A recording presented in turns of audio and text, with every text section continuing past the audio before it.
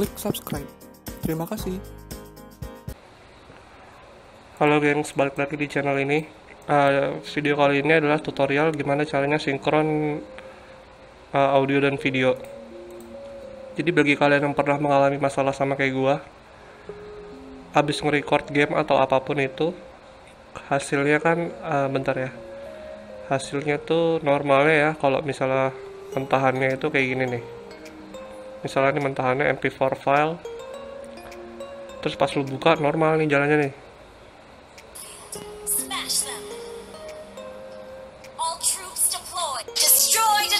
Nah, itu kan destroy the turret.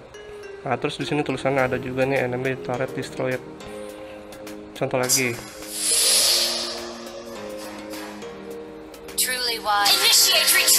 Nah, atau dengar gak? Initiate retreat. Di sini muncul initiate retreat gitu kan. Itu normal tuh di video mentahannya.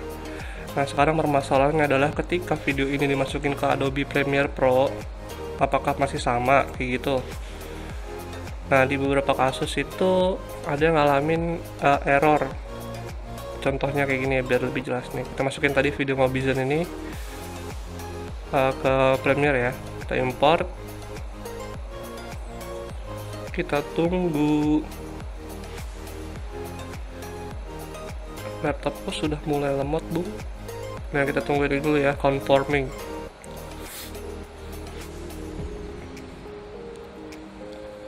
Ini videonya berapa menit sih? 14 setengah menit ya, lumayan lah. Nah, kalau udah kita tarik videonya ke timeline. Kita tunggu dengan penuh sabar karena laptop ini sudah mulai tua.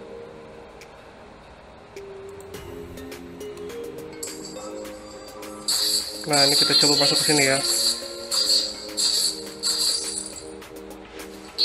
Tuh. Lu denger gak? Kayak ada bedanya situ. Nah, tuh an ally has been slain ini baru muncul. An ally has been slain ini baru muncul.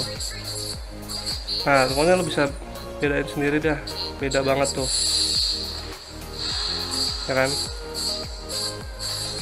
Antara audio dan video tuh setelah dimasukin ke Adobe Premiere Pro sisi ini tuh nggak sinkron. Nah ini adalah salah satu masalah yang mau diatasi. Gue punya solusinya dan ini adalah satu dari sekian beberapa sol- solusi yang ada mungkin ya dan gue cuma tahu satu. Uh, cara pertama adalah lu delete dulu ini delete dulu semuanya dari Adobe Premiere Pro sisi lu terus langkah kedua adalah lu download file eh download software yang namanya ini berhubung gue udah download ya handbrake. Rem tangan bahasa Indonesia nya tahu dan yang kenapa namanya handbrake. Lu buka nanti uh, kalau udah lu download ya lu buka. Ntar yang mau uh, apa namanya? Link di link downloadnya nanti gue taruh di deskripsi ini kita tunggu dulu nih agak lama nih brengsek juga nih. Tapi semua udah tahu kan maksudnya permasalahannya di sini adalah ketika video lo dimasukin ke Premiere Pro jadi aneh gitu intinya.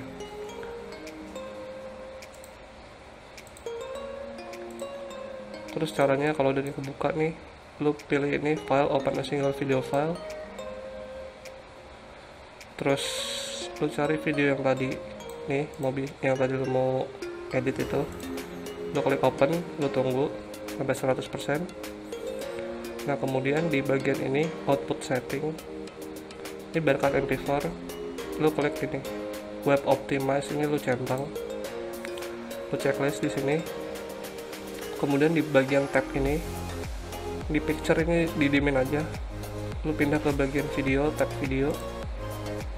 Nah di bagian frame rate ini dari tadinya ini peak frame rate lo jadi constant frame rate. Ini pentingnya constant frame rate ya. Nah yang peak ini tuh jangan lo klik jangan karena, karena ini PA PA frame rate tuh kan. Ini aja udah PA jangan pencet jadi pilihnya constant frame rate. Terus ini ada quality di sini 22 ini diturunin jadi 25 atau berapapun itu udah nggak diturunin juga nggak apa-apa sih cuman gue mungkin agak turunin ke 25 nah untuk uh, setting di handbrake cuman kayak gitu doang cuma dua step. Pertama web optimize di checklist yang kedua di tab video constant frame rate.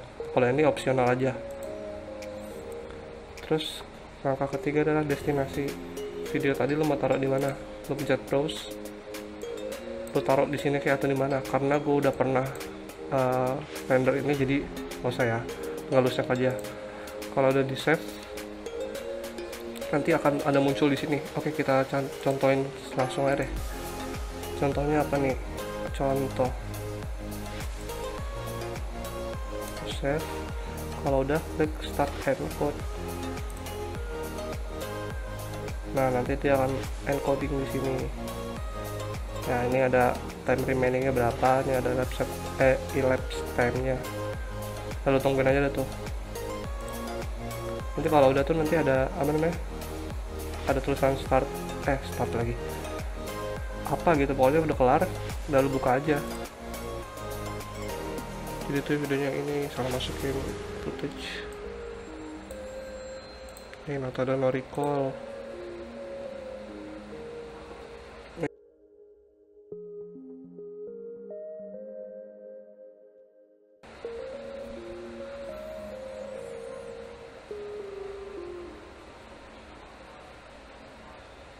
nah kalau dia tarik ke TL.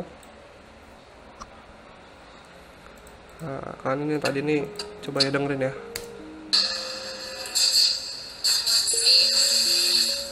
Tuh kan udah mulai sama beda main tadi.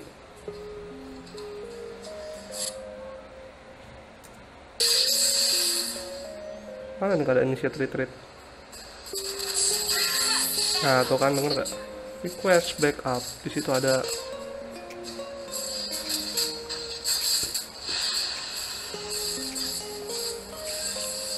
oh, first blood. Nah suaranya udah bareng sama videonya. Udah jelas ya. Jadi fungsi handbrake itu untuk mensinkronisasi antara video dan audio yang ada di Premiere Pro. Semoga tutorial ini membantu. Walaupun tutorial ini biasa aja dan ini cukup membantu gue karena sebelumnya gue pernah ngalamin video gue kayak gini jadi nggak jadi gue edit. Gara-gara gue nggak tahu caranya gimana ya. Tapi kalau emang ini video berguna tolong di share atau di like biar orang lain juga lihat. Kalau nggak suka di dislike aja. Kalau ada kritik saran juga tinggal komen nanti gue balas. Dan jangan lupa subscribe. Oke gitu aja ya. Dadah